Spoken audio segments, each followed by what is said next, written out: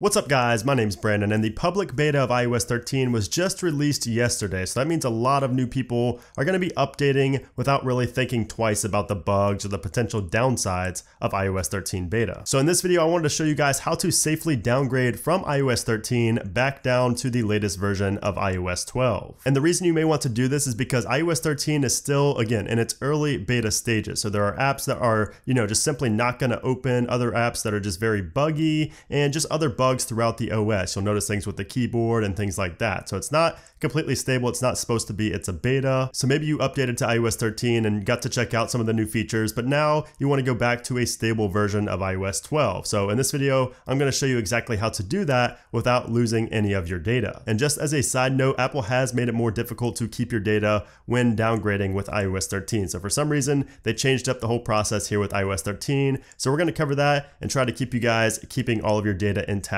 on your phone. All right, so let's go ahead and get started. So the first thing you want to do is go ahead and plug your phone in to the computer. And then you want to go over to your computer and go to ipsw.me and go ahead and download the latest version of iOS 12. So right now, as of the recording of this video, the latest version is iOS 12.3.1, but of course soon to be iOS 12.4. So whatever the latest version is, or whatever version is signed with the green check mark there, just go ahead and download the IPSW file. It will be a rather large size, usually over three gigabytes. Now, while that IPSW file is downloading on your computer, go ahead and back up your iPhone to iCloud iCloud and to iTunes. I like doing both backups just to be safe. You really only need the iTunes backup, but I do also like doing the iCloud backup. So to do that on your phone, click on your little icon there, your iCloud, scroll down to iCloud, then scroll all the way down to iCloud backup, and then make sure that is ticked on and then go ahead and click on backup now. Even if you did an update earlier, just do another update here just to be safe. And you will also want to disable Find My iPhone as well. So make sure Find My iPhone is turned off there. You will need that in order to restore properly. And then of course you do also want to make an iTunes backup on your computer just by simply clicking on backup either in iTunes or if you're on macOS Catalina,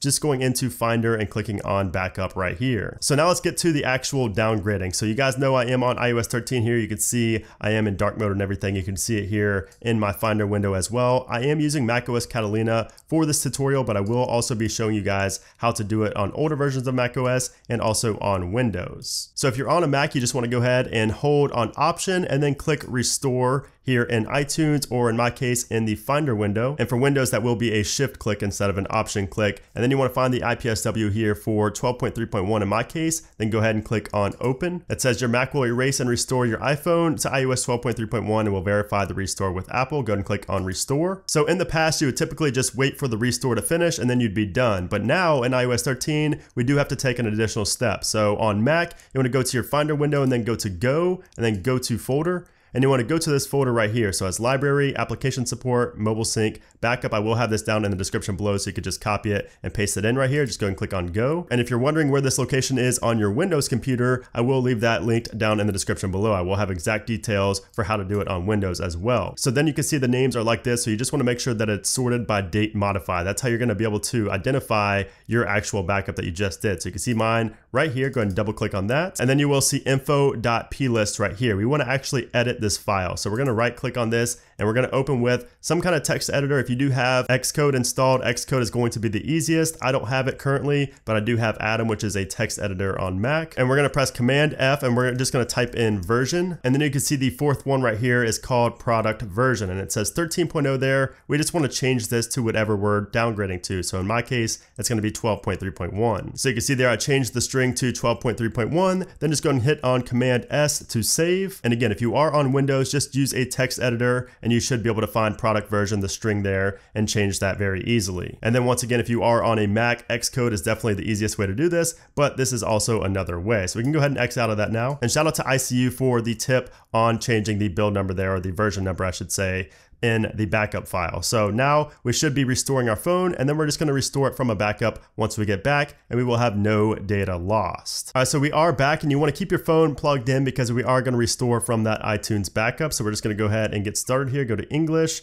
United States. You can either go through the process here on your phone and get to the restore section, or you could just go straight to your computer and go to iTunes, or in my case, the Finder window here. And you can see it says set up as new device or restore from backup. And when you see restore from backup, backup there, you should see your backup here from iOS 13 that's actually accessible now on iOS 12.3.1. So in the past, you could never do that. But now, since we changed that string in the code there, we can actually restore from our iOS 13 backup. So once you see it here, just go ahead and click on continue. And you can see that was actually the restore page here on the iPhone, but you could do it from the computer as well. It's actually easier if you just do it from the computer right once you get back from the restore. So now it's gonna go through the process here. Shouldn't take very long, but of course that will depend on how much data you had there in that backup. All right, so we are back. Now it says press home to upgrade. Let's go ahead and do that. And then it will come up right here with a progress bar underneath the Apple logo. And this will be the final step to restoring from our iOS 13 backup. Now, just as a side note, you don't have to actually restore from your iOS 13 backup if you don't want to. If you had a backup from iOS 12.3.1 and it's only been a couple days and you don't want to go through changing the strings and things like that, you don't have to. But this is just to make sure you get all of your up-to-date data, all your text messages, you know, your photos, everything. Make sure all that stays. All right, so we are back now. You can see we already have the background from iOS 13 here in iOS 12.3.1, so I can already tell it worked. So you can see there it says restore completed. Let's go ahead and click on continue. We will just have to sign back into our Apple ID. So we're just gonna set up later in settings. We're just gonna try to get to the iPhone as quickly as possible. And as you can see there, we are on iOS 12.3.1, but we have the iOS 13 background. You can see all of our applications are loading up here that we had on iOS 13. And if we go to our photos, this is a photo I took just before doing the backup just to make sure this worked and that it kept all the files. And as you can see, everything is here. All your text messages, all your photos, all your applications, everything will still be intact.